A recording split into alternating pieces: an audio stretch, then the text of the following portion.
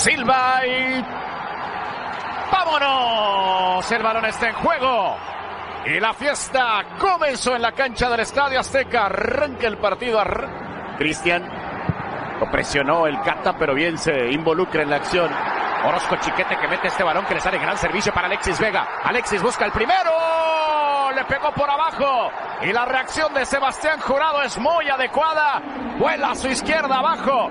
Y le está arrancando a Alexis Vega la posibilidad del primero, Crozas. una gran atajada por parte de Jurado que también eh, nos ha ofrecido algunas dudas, ¿no? Romero.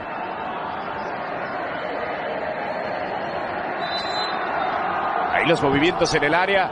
Viene el servicio a primer palo. Le alcanzó a peinar Pablo Aguilar. De manera peligrosa la pelota estaba merodeando el área chica. Llegó Irán Mier y la mandó de torneo, el segundo máximo asistidor por detrás de Luis Quiñones, del futbolista de, Tigres. Pero a balón parado a, muchos futbolistas luego les cuesta. A las afueras del área tocó para Morales. ¡Boca!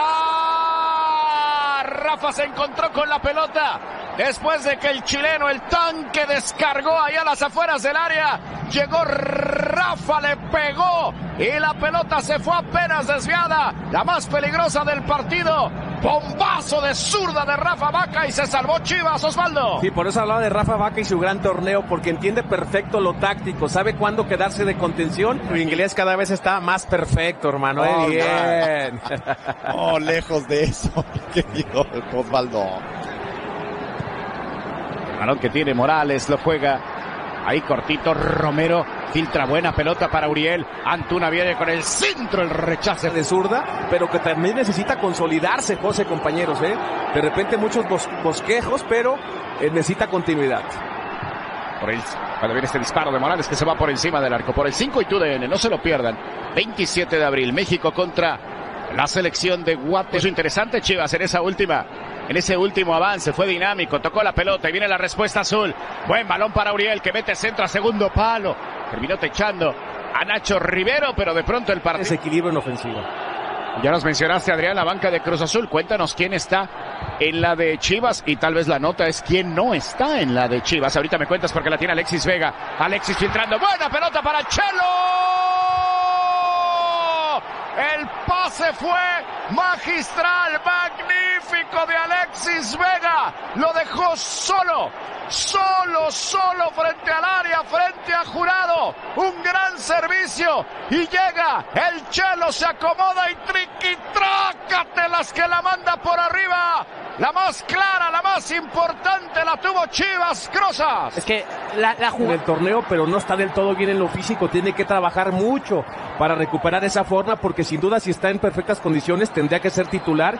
Y es un tipo que nos demostró que cuando entra, lo hizo contra Toluca en ese gol mano a mano, parecido a lo que tuvo Saldívar. Vega parece adelantado. Aquí está Alexis Vega. ¡Alexis!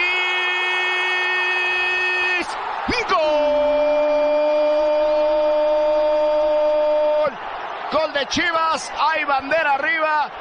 Y a la señorita Karen Janet no le dudo, ni poquito. Paco. Ah, yo tampoco. Creo que pica un poco antes, Alexis. Vamos a ver la repetición. Al momento del toque, ahí está. Que crezca, porque si siguen participando Rafa Vaca, Rivero, Eric Lira, son muy buenos futbolistas, pero les falta ese punto de creación. Ojo que viene Vega, ojo que viene Alexis. Sigue Alexis, tiene el primero pelota Alexis Vega. Se llevó por velocidad a Eric Lira. Le metió el cuerpo, aguantó las cargas de Luis Abraham. Llegó frente al arquero y Osvaldo le echó por arriba a Alexis. Sí, qué buena jugada otra vez de Alexis Vega que con un gran movimiento termina quedando mano a mano. Ya hemos dicho de que Cruz Azul en zona defensiva da muchas opciones. Ve nada más el bote de la pelota. Alexis agarra, sabe perfectamente que es veloz. Quiero ver si Jurado no le pega en el rostro, ¿eh? Me parece que la chica termina condicionando. A ver, vamos a ver esta, esta toma de nuestros técnicos. No, ¿Sí? ex de las Chivas, a la cancha. De hecho, pertenece al rebaño. A este balón filtrado le faltó finalmente fineza a Eric Lira al momento. Ahora el que espera es el Guadalajara y parece una guerra de porras allí en la tribuna, Adrián. Sí, lo decíamos, está muy parejo, pero sí pareciera que se escucha un poquito más la gente de Chivas que la de Cruz Azul. Aquí está Romero, Romero para Santi, regresa la pelota para Romero apenas desviado. Apenas desviado el impacto por parte del mellizo, por parte de Ángel Romero, pero combinaron de manera perfecta por toda la parte central. Vea nada más ahí. Romero para Santi. Después un rebote le queda. Estaba solo Vaca, no le tocaron la pelota, Osvaldo. de disparo, el futbolista mellizo termina pegando de zurda y muy cerca del arco del Guacho Jiménez. Aquí está Vaca, levanta Antuna. ¿Qué clase de jugada? Todavía remate, atrás la tiene el arquero. Atrás la tiene el arquero si Santi Jiménez se quiere consolidar como centro delantero titular de Toda la convicción, Santi Jiménez, la pierna derecha. Estoy de acuerdo con tu comentario, Paco. El arquero. Atrás la tiene el arquero si Santi Jiménez se quiere. Muy clara, mucho más vertical. Ya lo decíamos en el primer tiempo y sigue metiendo en problemas la Cruz Azul. Sí, señor. Y acá tiene el rebaño el tiro de esquina. Ahí está Flores e Irán Mier en el corazón del área. Viaja la pelota. Es el remate. ¡Gol! ¡Gol!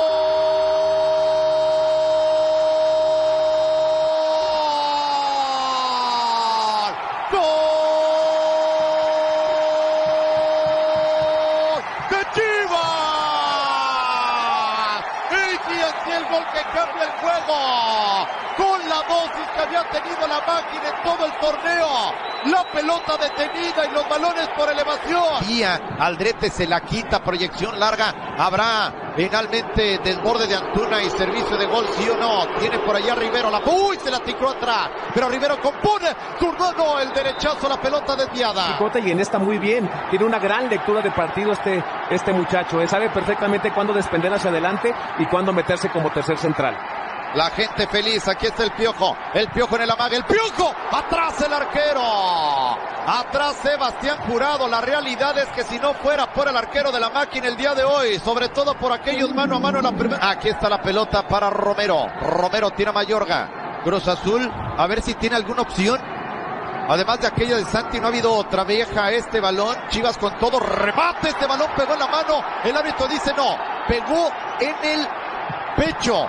El impacto, qué difícil observar. Alexis Vega lo toma del cuello y viene una expulsión. Ahora estaremos viendo exactamente de quién se trata, pero es Alexis Vega el que lo toma del cuello y me parece que es el elemento expulsado.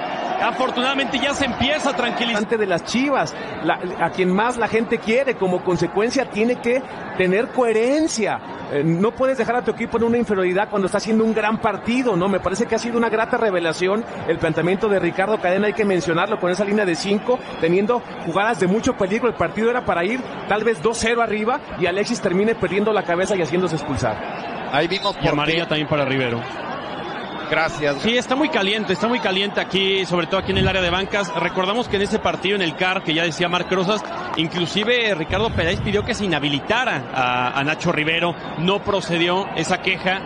Y bueno, por eso Otero para proyectarla. Aquí está Otero. El servicio. Cobertura de la saga. Perfectamente. Llegó la marca Torres. Todavía Otero. Otra vez levanta la pelota. Remate.